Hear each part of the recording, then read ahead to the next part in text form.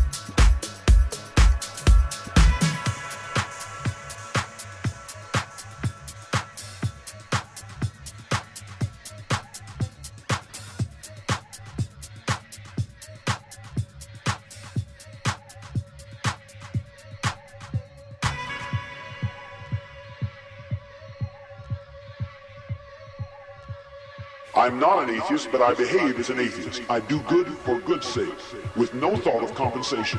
And I've evolved to the point where I don't care a thing about getting